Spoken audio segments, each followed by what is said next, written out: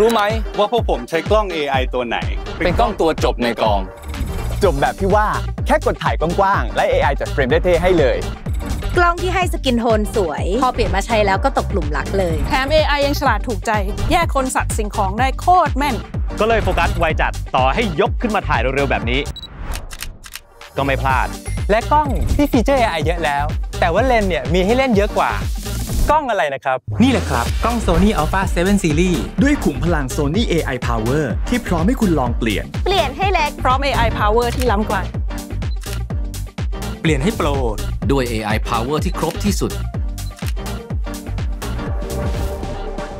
เปลี่ยนมาเป็นครอบครัวโซนี่ด้วยกันนะครับ